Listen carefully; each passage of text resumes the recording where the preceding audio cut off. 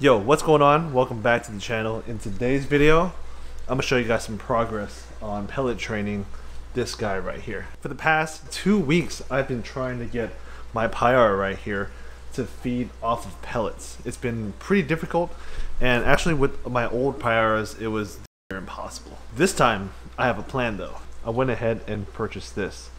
It's freeze-dried whole fish. I don't know if you can see it through the container, but it's pretty cool. I've seen Payaras eat pellets on YouTube and stuff, so I know it's possible. It just takes a lot of training, and that's the reason why I have these uh, Hujeta gars here. So enough talking, let's go ahead and dive in, and I'll show you guys the progress. Check it out. Look at him. See how he's looking up? That is the result of two weeks of training, and he's actually uh, pretty skinny right now because he hasn't eaten in a couple of days. Uh, the last time I fed him was, I think, like five days ago. But that's because we're doing the starving method, and on top of that, we're doing the trainer fish method right here. So these guys right here have been training my Payara to look up for food. You see? They're all kind of uh, looking up right now. So I'll show you guys what the progress been looking like. Can open this with one hand. So I've been training with these food sticks I initially got them, I don't know what fish I got it for, but uh, I still have them and I'm just using it to train. But what's nice is the Pyra kind of recognizes this as food. I haven't really tried any other method, which is why I bought that stuff. But this is what I've been doing. I just pour it in and then the Pyra just watches the Hujetas eat. You know, they strike, and they go crazy at the surface. And then you know even sometimes it gets these guys wild up. Before the food used to kind of come sinking down. It was tilapia colored and all that stuff. But now I've only been really feeding stuff that floats. Well besides the pellets that I feed these guys. But the good thing is we have these dried fish right here that hopefully is gonna get them to want to eat. So let me go ahead and just put this in there I'm not even too sure if he's gonna go for it. I have a big dried fish right here. Watch this. My first time. Oh, he's. Oh, never mind. I thought I saw. Oh, he sees it. He sees it. He sees it. Oh! It's dried. It's not. It's. I didn't soak it right. Oh, dang it. It's. I think it's I gotta soak it. Alright, so you guys saw that. The Payara strike the top. It knows that food is up there. It's just that that freeze-dried fish was just, um, I guess it was too, it was too dry. So, I don't know if he's gonna go for a round two, but let's see, let's see what he does. Let's see what he does. The Hujetas aren't going for it. These guys are all wild up. I'll, I'll feed the pellets later, but yeah, that was the first time the Payara striked, like, up top, which is really nice. Oh, here we go. No, he's, he's not gonna go for it. He's not gonna go for it. He ain't gonna go for it. The Hujetas aren't even going for that. Hujetas are looking at that dried fish.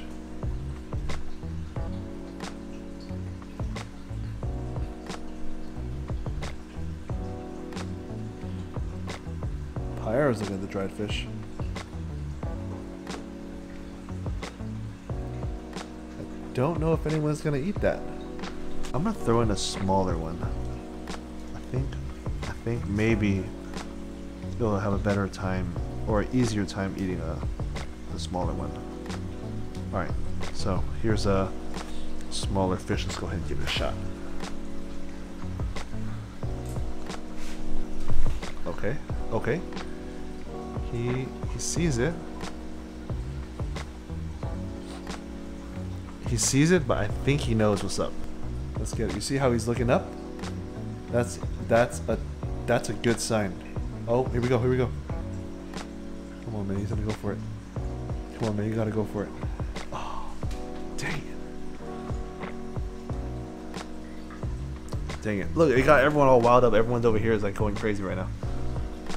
Don't worry, I'll feed everyone else later. But right now, it's the focus is the Pyra. Oh, if you don't know, these two tanks are connected, so that's why these ones are going crazy right there. And then that's why these ones are going nuts too, because they smell the food in the water. This one's going crazy.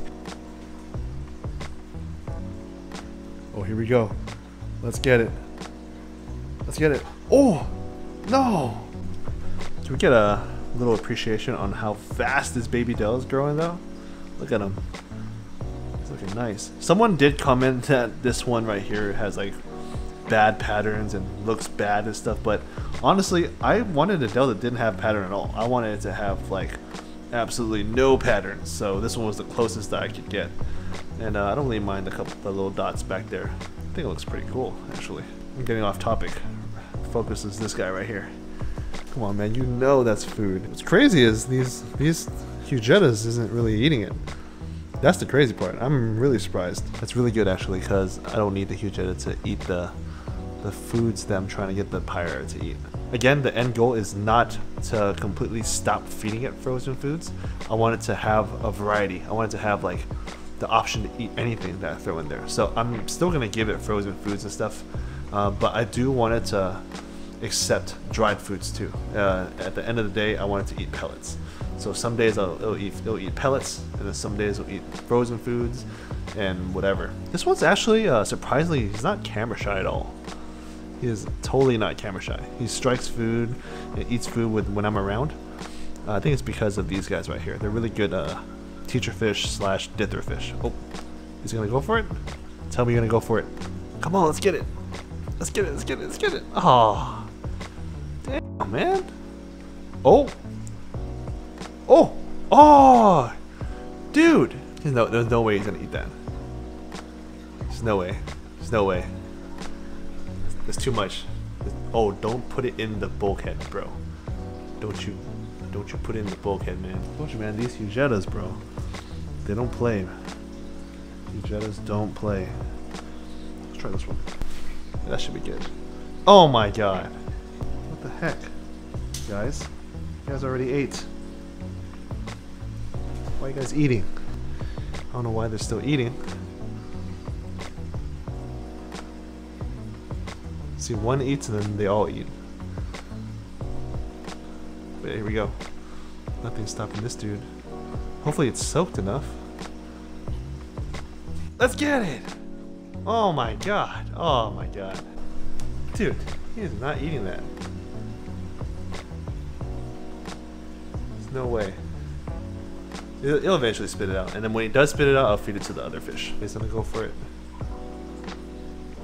Oh, he missed. All right, so uh, feeding the dried foods isn't really that isn't really working right now because these guys figured out that they can eat it. So they, look, they're chewing it like beef jerky. If you guys have been following my channel for a while now, you guys will know that I used to have a Pyra tat, and that one did strike pellets, but I had to soak it in garlic and I had to squeeze the air out, let it sink, and it will only hit the uh, the pellets when it's sinking. This guy right here is different because it's striking it from the surface. So even though that one that I did have um, technically did eat pellets or hit pellets, this one's a little bit better because it's striking stuff from the top.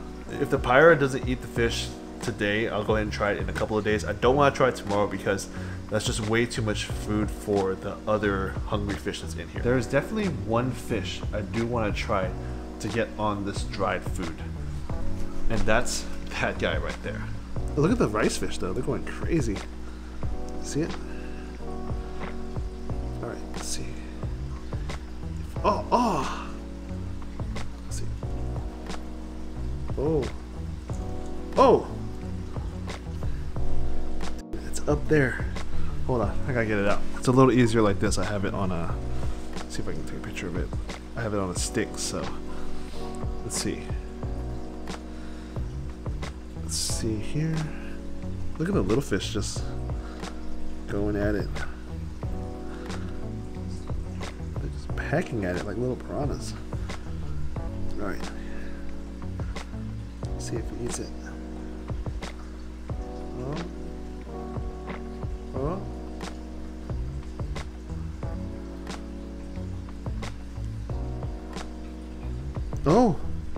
Don't tell. Oh. The first dried food taken by the gulper cat. You know, that's actually not bad because gulper catfish are known for like not really taking a liking to dried foods. Huh. I think that's that's a win right there. Got the fish right here. I think you can see that. Oh, he's looking pretty uh looking pretty excited here. It's,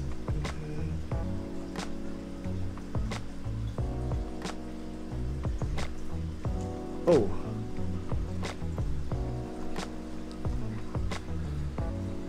Damn. Damn.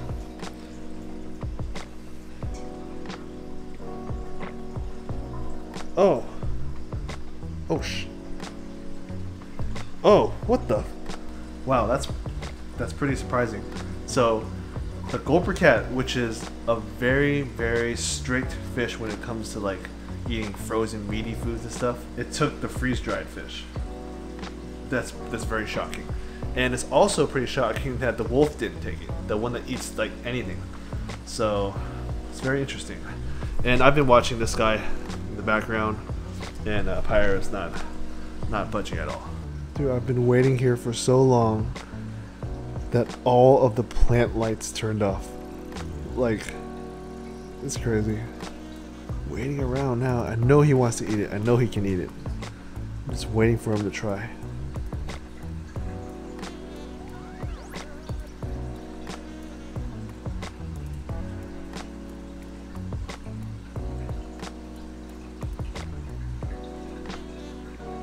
The hell? He just. He...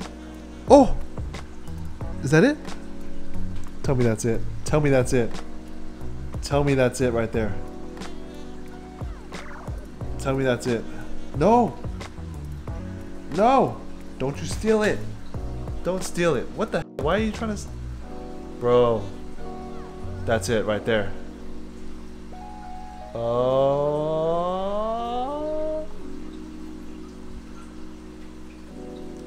Ladies and gentlemen, the Payara has successfully eaten dry foods. We've done it, boys and girls. The papaya. Oh my god. The papaya has eaten dry foods. This is absolutely insane. Finally, Let's go. Let's get it. First dry food consumed by this guy. And I was literally about to take the food out. One of the things with this fish right here is when it strikes food, it has to be like mushy and like the the texture of real fish for it to kind of take it down. So you saw in the beginning when I first put the dried fish in, it was kind of stiff and it, it wouldn't recognize it as food. But after a while of having it in the tank, after it soaked up a whole bunch of water, it went up to it really, really close, sniffed it a little bit, backed off, and then striked it. It's a pretty big step when it comes to pellet training the Pyra, and now I know it eats this food. Uh, I'm just hoping that eventually I can just cut the food into little pieces, smaller and smaller and smaller, until I just start throwing pellets with the dried fish and eventually just kind of phase out the dried fish and only throw pellets in. So, yeah, it's it's this is it right here. This is peak pellet training right here because the Payara finally ate food that wasn't like frozen or all that stuff. So. I like that. So that's pretty much it for today's video. Um, that's all I wanted to show you guys. Uh, I've just been here training and messing around with the fish.